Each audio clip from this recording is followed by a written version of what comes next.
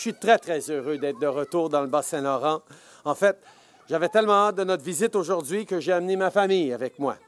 Je voulais qu'ils constatent par eux-mêmes la chaleur et l'amitié qui caractérisent cet endroit tout particulier du Québec et du Canada.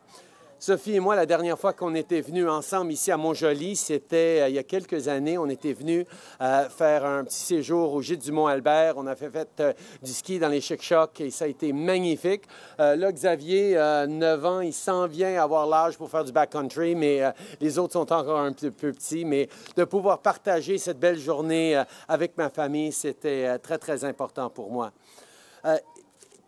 réellement, Uh, just a few minutes ago, uh, we had a chance to play a bit of baseball, and it's things like that, just throwing the ball around for a while, that makes summertime so special. Summer's a chance to spend a little more time with family and friends, get outside, maybe travel a bit. L'été est le moment idéal pour vivre des expériences mémorables en famille. Mais en même temps, les parents, comme ceux avec qui j'ai passé quelques moments aujourd'hui, savent qu'on doit aussi garder un œil sur le budget familial. Parce que les camps d'été, ça coûte de l'argent. Les cours de natation aussi. Les nouveaux équipements de soccer. En hiver, c'est le ski, c'est le hockey.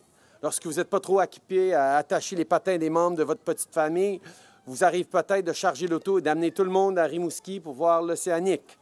Le fait de recevoir un peu plus d'argent à la fin de chaque mois est ce qui permet de créer ces souvenirs d'enfance. Voilà pourquoi il était si important pour nous d'établir l'allocation canadienne pour enfants. En fait, ça fait un an, sept semaines que les premières prestations de notre nouvelle allocation canadienne pour enfants ont été versées dans les comptes bancaires des familles. Depuis juillet dernier, les familles, comme celles qui sont ici aujourd'hui, reçoivent à chaque mois des chèques plus généreux, non imposables, qui les aident à assumer le coût associé au fait d'élever les enfants. Grâce à l'ACE, neuf familles canadiennes sur dix reçoivent plus d'argent, plus d'argent à chaque mois.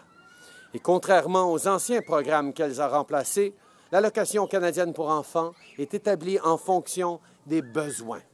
Les millionnaires ont cessé de recevoir des chèques d'allocation pour enfants. La plus grande part de l'aide que nous apportons va aux familles qui en ont vraiment besoin. Les familles d'ici, à Montjoli et de partout au pays. Je l'ai dit auparavant et je le, auparavant et je le répète. Nous sommes un gouvernement déterminé à aider la classe moyenne et tous les gens qui travaillent fort pour en faire partie.